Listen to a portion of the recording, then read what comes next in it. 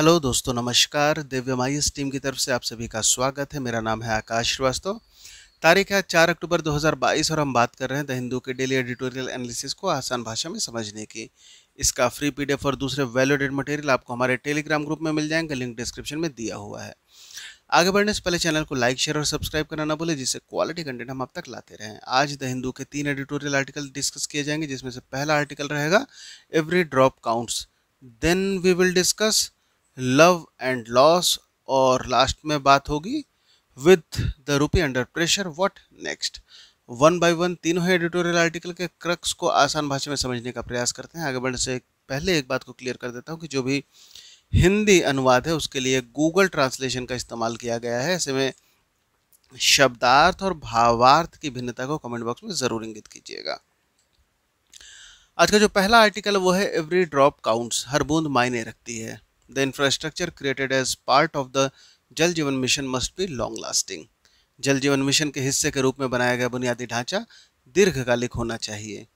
Article में बात हो रही है जल जीवन मिशन की, जिसके तहत 2024 तक सभी ग्रामीण घरों में नल से पानी मुहैया कराने की बात कही गई है।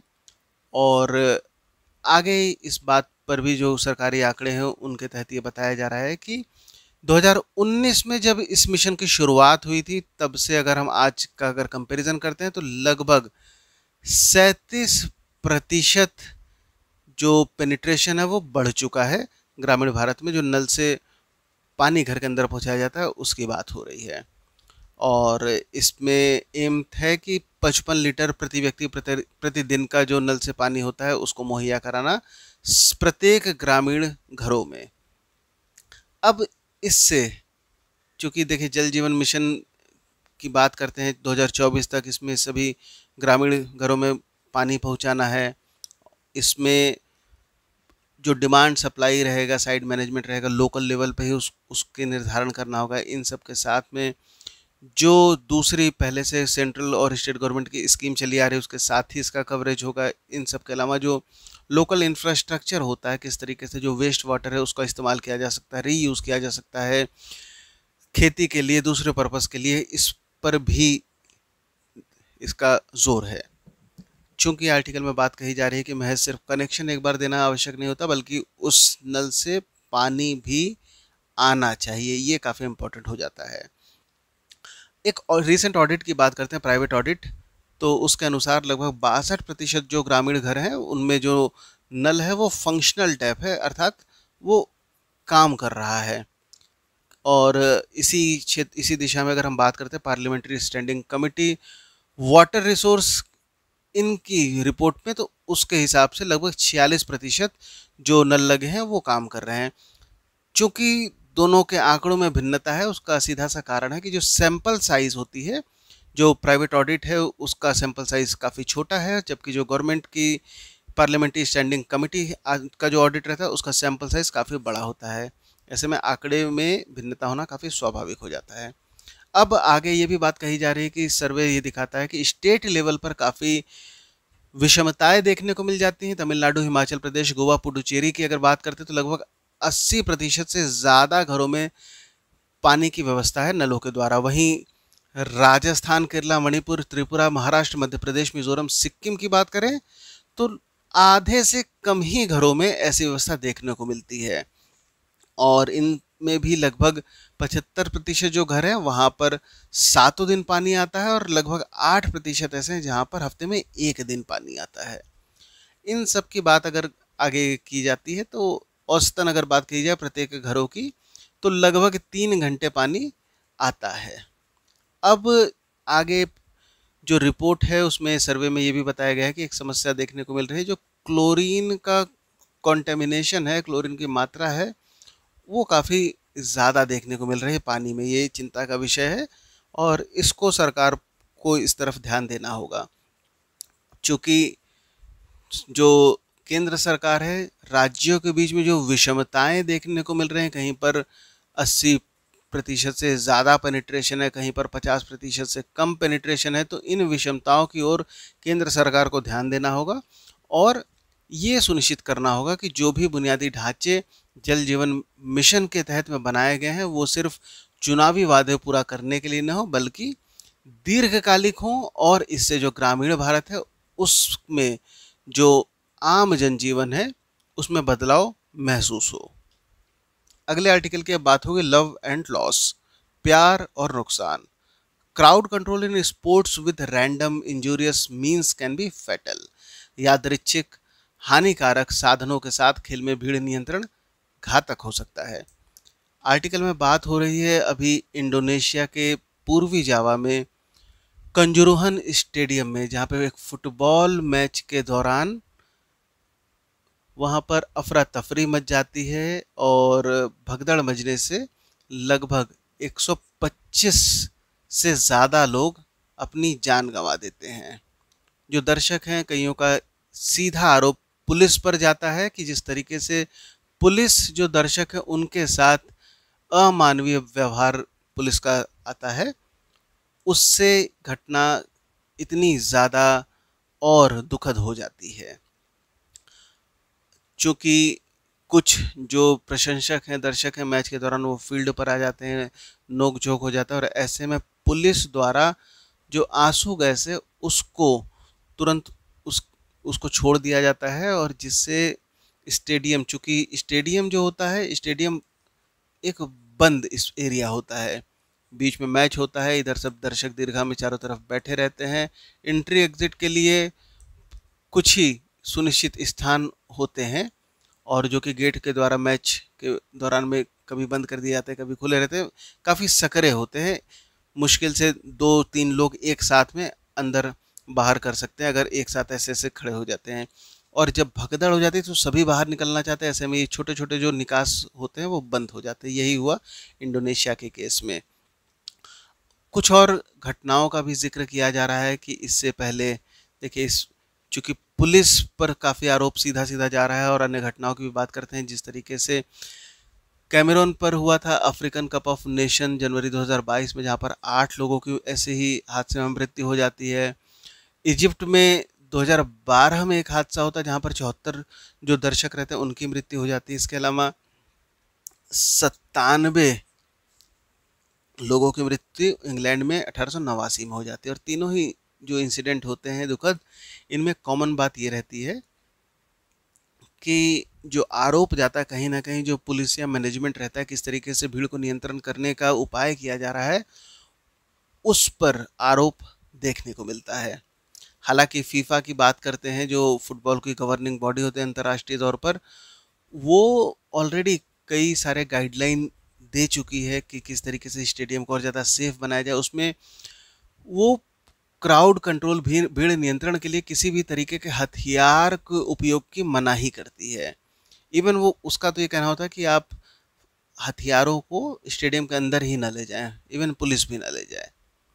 अब आगे इस तरीके की बात कही जा रही है कि जिस तरीके से दुखद हादसा होता है, इंडोनेशिया की जो national commission on human right है, अब वो मामले को अपने संज्ञान में ले लिया है और जो भी दोषी होंगे यदि पुलिस दोषी हैं तो उन पर आगे कार्रवाई भी की जाएगी, किंतु ये दुखद घटना घटित हो चुकी है और अब आने वाले समय में देखना होगा किस तरीके से खेलों को लेकर और खेलों में ऐसी घटनाएँ दोबारा न हो, उसके लिए क्या दीर्घकालिक परिणाम और उपबंध किए जाते हैं।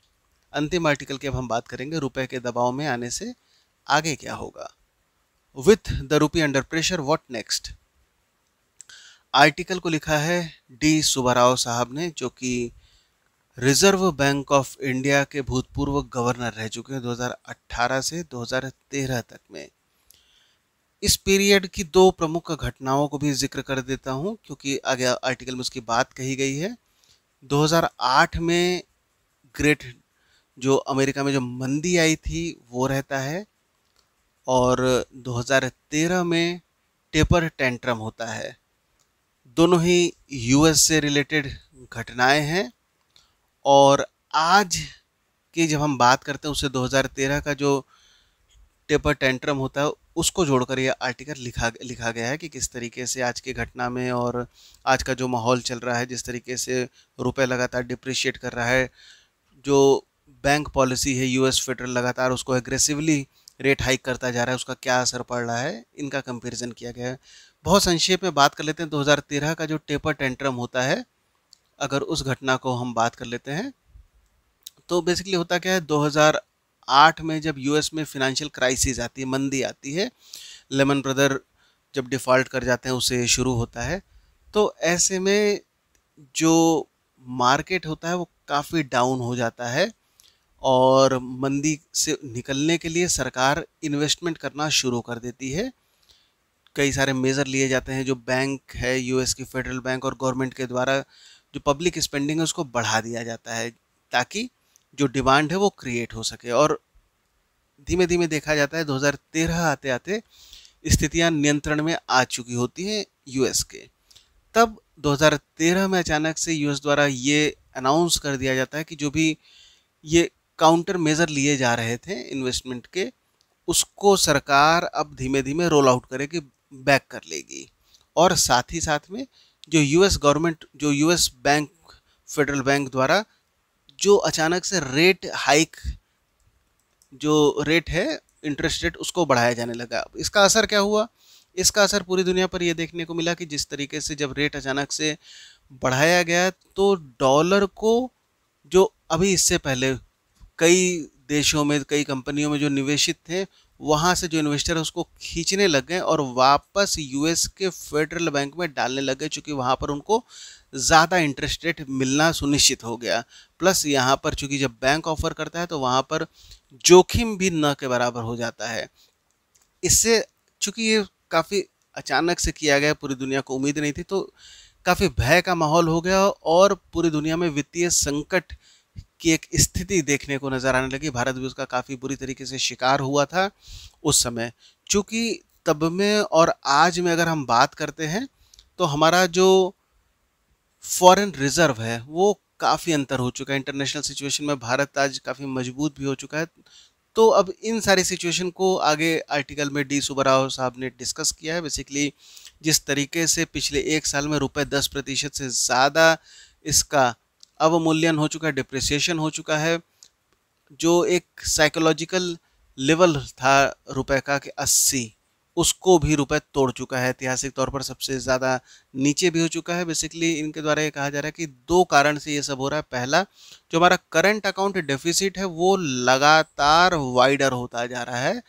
और दूसरा, जो कैपिटल है, उसका आउटफ्लो हो रहा है। बेसिकली यूएस द्वारा जो फेडरल बैंक द्वारा जो वर्तमान में जो लगातार इंटरेस्ट रेट को बढ़ाया जा रहा है, उससे जो कैपिटल है, उसको जो निवेशक जो निवेशक होते हैं, उसको निकाल कर वापस यूएस की तरफ़ लेते जा रहे हैं। अब ये भी बात कही जा रही है, जिस तरीके से आज के समय की अगर हम बात करें तो जो एक्सचेंज रेट होता है, उसको काफ़ी नज़दीक से जो फंडामेंटल होते हैं, वो ट्रैक करते ट्रैक किया जा सकता है। इसके अलावा भारत की जो आज मैक्रो सिचुएशन है मैक्रो इकोनॉमिकल सिचुएशन है, वो पहले से काफ़ी मज़बूत हो चुकी है। और इन सब के बाद आज जो भारत के पास जो फॉरेन रिज़र्व है, उससे भी हमारी नीतियों को काफ़ी मजबूती मिलती है। आगे ये बात कही जा रही है कि अभी निकट भविष्य में जो फेडरल बैंक द्वारा जो भी उपाय किए जा रहे हैं, वो उसी दिशा में देखने को मिलने वाले हैं। साथ साथ में जो यूक्रेन रशिया का वॉर है, ऐसी उम्मीद नहीं लग रही कि ये भी बहुत जल्दी ख़त्म होने वाला है। और इसमें बहुत सारी बातें पर भी ज़ोर दिया गया है। बेसिकली इस तरफ़ इंगित किया गया कि जो भी सिचुएशन आज, चूँकि ग्लोबल सिचुएशन ज़्यादा उत्तरदायी है, कि रुपए की वैल्यू लगातार घट रहा है हमारा जो करंट जो अकाउंट डेफिसिट है, वो लगातार बढ़ रहा है। किंतु उसका असर तो हमारे जो घरेलू बाज़ार है और घरेलू कंडीशन में चल रहा है, उस पर देखने को मिल रहा है। अब बात कही जा रही है कि हमारे फॉरेन एक्सचेंज रिज़र्व की बात कही जाए, चूँकि ये बहुत बड़ा क्वेश्चन प्रोवाइड कर देता है। अगर जब कोई भी किसी भी देश की जब करेंसी होता है, वो डिप्रिशिएट करती है तो अगर फॉरेन रिज़र्व सफिशिएंट है फॉरेन एक्सचेंज रिज़र्व तो ऐसे समय डॉलर को सेल आउट कर दिया जाता है ओपन मार्केट में ओ द्वारा, और रुपए की वैल्यू और ज़्यादा गिरने से कुछ हद तक रुपए अथवा उस देश की जो भी करेंसी है, उसको बहुत तेज़ी से गिरने से थोड़ा सा उसको कुशन मिल जाता है। कंट्रोल वो आने की संभावना उसकी बढ़ जाती है। जिस देश के पास जितना अधिक फॉरेन एक्सचेंज रिज़र्व होगा, उसके पास ये शक्ति उतनी ज़्यादा अथवा वो जो कुशन है, वो उतना ज़्यादा वो वाइडर प्रोवाइड कर सकेगा। अब आगे चूँकि फॉरेन एक्सचेंज रिज़र्व की बात कही जा रही है तो इसको सिंपली जो जीडीपी है, उसके रेशियो में अगर देखा जाए तो डी सुबराव साहब का ये कहना है कि जो मार्च 2022 में 21 प्रतिशत पर था वहीं। अब उम्मीद ये है कि 2023 का जो फिनंशियल ईयर आएगा, तब ये 17 प्रतिशत के आसपास इसका रेशियो आ जाएगा। और ये जब 2013 में जो टेंट्रम टेपर जो टेपर टेंट्रम हुआ था, उस समय भारत का जो ये रेशियो बन रहा था, वो पंद्रह प्रतिशत बन रहा था और सत्रह प्रतिशत और पंद्रह प्रतिशत में बहुत ज़्यादा अंतर नहीं होगा। अब चूँकि ये भी बात कही जा रही है कि जिस तरीके से। अब लगातार क्या हो रहा है? रुपए डिप्रिशिएट कर रहा है डॉलर मज़बूत हो रहा है तो ऐसे में क्या होगा? इम्पोर्ट और ज़्यादा महँगा होगा, क्योंकि जो रॉ मटेरियल है वो महँगे होंगे, हमको ज़्यादा पैसा देना पड़ेगा। तब, अब इससे जो एक्सपोर्ट होता है, चूँकि आगे बहुत सारे जो यूरोपियन कंट्री वेस्टर्न कंट्री वहाँ पर रिसेशन की बात भी आर्टिकल में कही जा रही तो ऐसे में ऑलरेडी जो बाहर के मार्केट है, वहाँ पर डिमांड कम है। तो अब जब डिमांड कम है तो हमारा जो एक्सपोर्ट हो रहा था, अब एक्सपोर्ट भी गिरेगा, इसकी बहुत ज़्यादा संभावना है। अब इन सब के अलावा जो क्रूड ऑयल की अगर हम बात करते हैं तो वो थोड़ा सा अंतर्राष्ट्रीय बाज़ार में इसके अब सुधार की, कुछ सुधार होने की संभावनाएँ देखी जा सकती हैं। किंतु ये इतना भी नहीं होने वाला है जिससे भी अचानक से ही पूरा अमूलचूल परिवर्तन हो जाए। भारत रशिया की अगर केस की बात करते हैं तो दोनों देशों के बीच में रुपए रूबल ट्रेड की बात कही जा रही थी, किंतु आज भी अभी ये व्यवहारिक तौर पर इसमें ट्रेड भारत और रशिया में नहीं हो रहा है। अब आने वाले समय में जब ये चीज़ें पूरी तरीके से व्यवहारिक तौर पर निर्धारित कर दी जाएँगी, शायद कुछ सिचुएशन सुधरता हुआ देखने को मिले। अब ये भी बात कही जा रही है कि जिस तरीके से आरबीआई इंटरवीन करता है, जब मार्केट में रुपए लगातार गिरने लग जा रहा था, तब उस समय डॉलर को बेच के रुपए को बचाने का प्रयास किया जा रहा था। तो इनका कहना है कि आरबीआई को लगातार जो अपना फॉरेन रिज़र्व एक्सचेंज है, उसको बेचकर ऐसा नहीं करना चाहिए, बल्कि को थोड़ा सा और इंतज़ार करना चाहिए। रुपए में अगर अवमूल्यन हो रहा है और उसमें कोई दूसरा और उपाय नहीं है तो उसको अवमूल्यन थोड़ी होने और देने चाहिए। रीर की अगर बात किया जाए, जो रियल इफ़ेक्टिव एक्सचेंज रेट होता है रुपए का तो ये बेसिकली एक ब्रॉडर मेज़र होता है कि जो वैल्यू है, वो वैल्यू ठीक चल रही है ओवर वैल्यूड है अंडर वैल्यूड है तो रीर की अगर बात करें तो अभी भी रुपए जो है, वो ओवर वैल्यूड कैटेगरी में आ रहा है। इसका मतलब कि अभी भी रुपए और ज़्यादा गिर सकता है। तो बेसिकली इनका कहना है कि अगर रुपए और ज़्यादा गिर सकता है तो उसमें लगातार डॉलर को बेचकर इंटरव्यू नहीं करने की ज़रूरत है, बल्कि अगर गिर रहा है तो थोड़ा सा उसको और गिरने दीजिए। और जब थोड़ा सा रुपए और गिरेगा, उसके बाद चूँकि जब रुपए की कीमत गिरेगी तो सपोर्ट को बूस्ट मिलेगा एक्सपोर्ट को। और साथ ही साथ में जो इम्पोर्ट वो और महँगा पड़ेगा तो ऐसे में बहुत सारे जो मटेरियल होते हैं ऑयल को अगर छोड़ दिया जाए तो हम उस पर थोड़ा सा और कंट्रोल करने की तरफ़ आगे भी बढ़ेंगे। जिससे अंतोगत्वा क्या होगा कि एक्सपोर्ट जब बढ़ेगा और इम्पोर्ट अगर घटेगा तो जो करेंट अकाउंट बैलेंस है, जो लगातार वाइडर होता जा रहा है, उसको नैरो होने में मदद मिलेगी। अब चूँकि यदि ऐसा होता है, रुपए को और, रुपए की वैल्यू में वो घटाव होता है, जो इम्पोर्ट होता है, वो महँगा हो जाता है एक्सपोर्ट थोड़ा सस्ता हो जाता है तो ओवरऑल जो महँगाई होती है, वो बढ़ेगी। और यदि जब महँगाई बढ़ती है तो बैंक क्या करती है? बैंक में अपनी मौद्रिक नीति मॉनेटरी पॉलिसी द्वारा महँगाई पर चेक लगाने का प्रयास करती है, जो ऑलरेडी बैंक बेहतर तरीके से कर रही है।